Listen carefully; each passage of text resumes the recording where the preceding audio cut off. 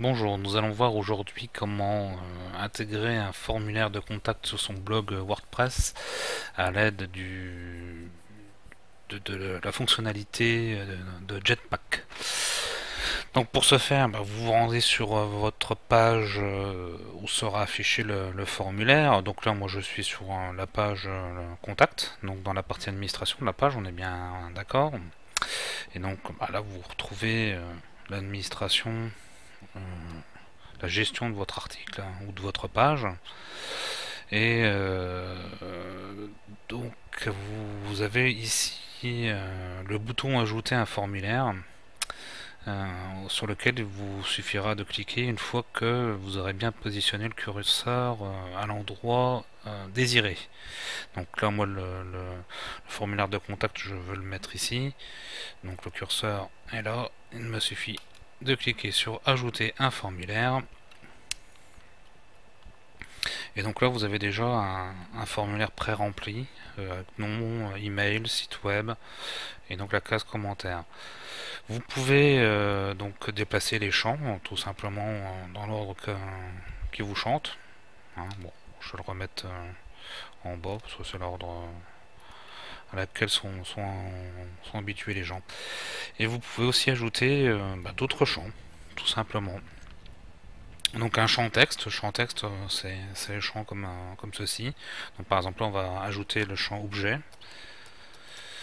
Voilà, donc texte on laisse comme ça, et puis on va décider que c'est obligatoire. Hop, voilà, donc on enregistre. Donc vous voyez que le champ objet, bon il s'est mis là, ça me convient donc je vais pas je vais pas le bouger. Euh, puis je dis tiens finalement non ça me plaît pas je vais le modifier. Donc il vous suffit de, copier, de cliquer sur euh, sur modifier. Et puis bah, par exemple vous pouvez euh, dire tiens moi je vais mettre case à cocher par exemple. Donc bon là pour l'objet ça ça se justifie pas trop hein. Euh, donc on va, on va, on va, plutôt faire, euh, allez, pourquoi pas un menu déroulant. Donc première option, donc bah là vous, vous mettez ce que vous voulez, donc ça peut être pas comme vous voulez. Vous rajoutez après bah, autant d'options que, que, vous voulez, donc bah là ça sera, euh, seconde option.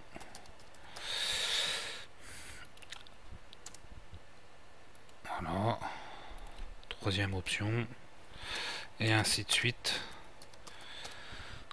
Et donc il vous suffit de cliquer sur enregistrer ce champ et vous voyez que là on a bien nos différentes possibilités. Euh, bon, on va le modifier à nouveau euh, pour euh, allez qu'est-ce qu'on va mettre? Bon email non vous voyez ce que c'est bouton radio? C'est un peu le même principe que la liste sauf que là les différentes possibilités vont, s'afficher ici. Hmm. euh, je mets juste deux pour que vous puissiez voir. Voilà. 3 hop.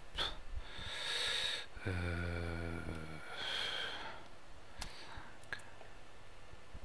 là c'est 4 voilà.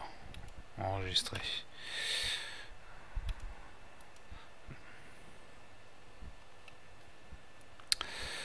Sauf que là vous, euh, avez la, possibilité de cocher euh, plusieurs, euh, plusieurs solutions. Enfin les personnes qui cherchent à vous contacter.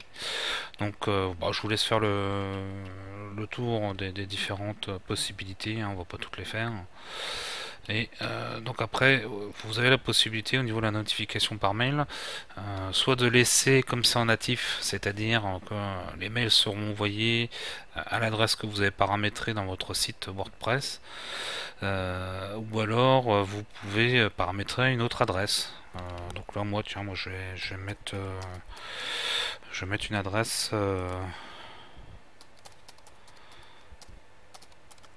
hop.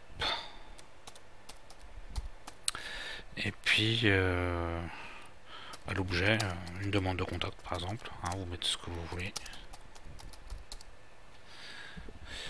Donc hop, on enregistre, on revient au constructeur, et là on dit bah tiens, c'est bon, on l'intègre, voilà, et vous n'avez plus qu'à publier et aller voir le résultat. A bientôt